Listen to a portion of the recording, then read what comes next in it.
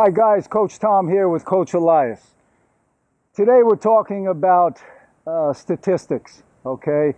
And in particular, Craig O'Shaughnessy's statistics about the ATP WTA. Most points end within what? Four shots. Exactly. Points are ending quickly. You know, there you see the long rally on TV, but those are far and few between. Now, since points are ending so quickly, you want to develop a weapon where you can end it quickly. Yeah. So what do you what is that called, uh, Elias? It's going to be the one-two punch. The one-two punch. I like it. Yes, which means you you focus on taking control of your service game early on by pressing the serve out wide to the corner and then stepping in and pushing your opponent to the outside to the open court. Yeah. And that's going to really help you to have a, have easier service games and something you can rely on and uh, make, make make it fast. Yeah. So they call it serve plus one. So you're basically going for an out wide, out wide, out wide. I got it right. Out wide serve. And you're looking to hit to the open court or hit behind your opponent. Okay. So many times you'll win the point outright with a one two punch, or at least you're going to be the aggressor in control and dictating the point.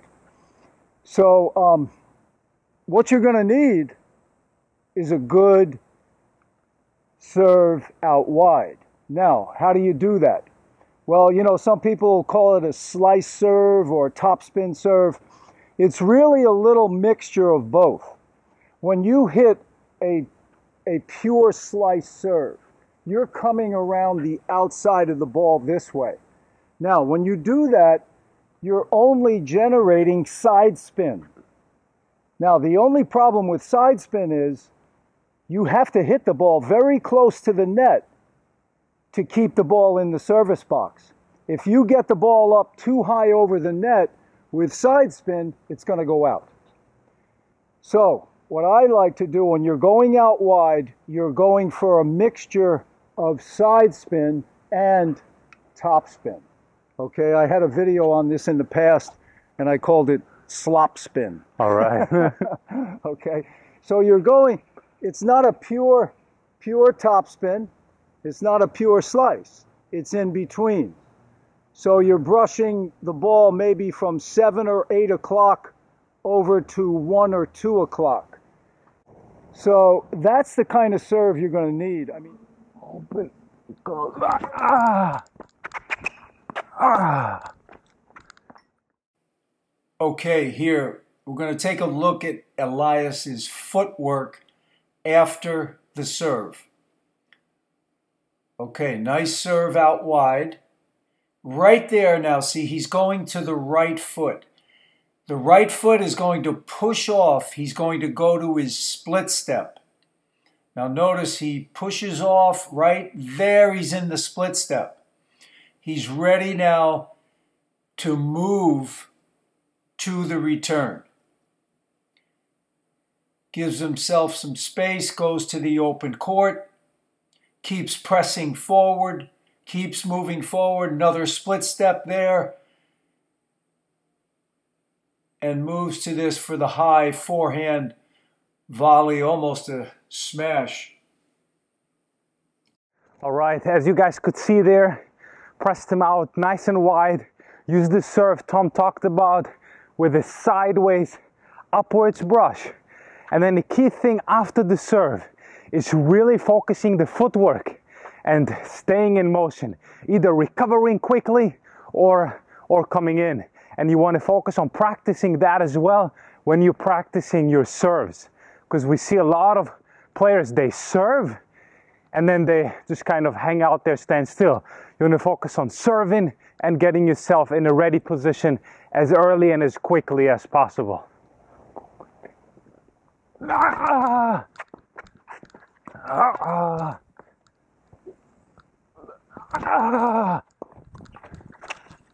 Ah! And in addition to moving your feet quickly after the serve, you want to focus on taking that next shot as early as possible in order to take time away from your opponent And then if you're already closer in the court, keep keep pressing forward. And it will help you a lot to really be in control of your service game. Now let me demo the footwork for you and I'll show you you're gonna be, let's say you're serving from here, come up, throw it up, you're landing on your left foot, recover on your right, and then press yourself back to the middle.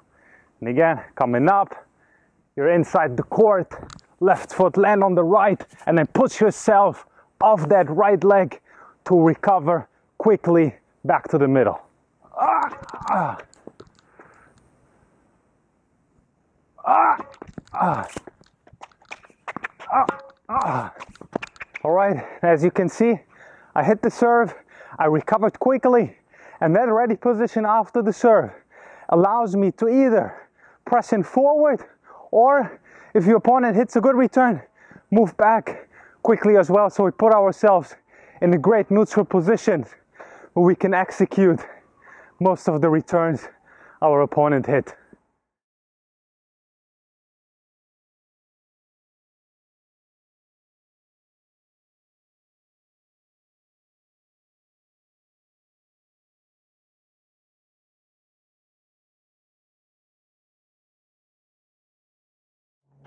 Well, we hope you enjoyed that video. Please subscribe to the channel, give us a thumbs up, and share it with your friends. So, what do you think the key is, uh, Elias? Practice number one. Exactly. You got to own that out wide serve. Yeah, yeah, yeah. Yeah. Because if we don't, the danger on that serve, if we don't really hit it out nicely wide, we hit it right to our opponent's forehand, Yeah. and then we can get in trouble. So I would use that serve as a first serve where we can play a little bit more risky. Yeah. Press our opponent out and then key thing is move quickly after the serve and take that next shot early again we don't have to overpower the next hit but we want to take time away from our opponent press it early press him into the corner and like we said that's going to help you to be in control of your service game Yes. and that's what we're after we're after those service games that feel comfortable for us Yeah, a nice point that he made was the recovery after the serve. Many people do not work on that. You know, you have to, you've just served the ball. You got to come out of that and get ready to hit the next ball. yes yes Yeah. and, and practice that when you're serving Yes. because that's where the mistake happens. People practice their serves, but they just practice the serves and then they stand there. Yes. Work on practicing your serve and, And- recover. And the recovery. exactly. Yeah. All the best, guys.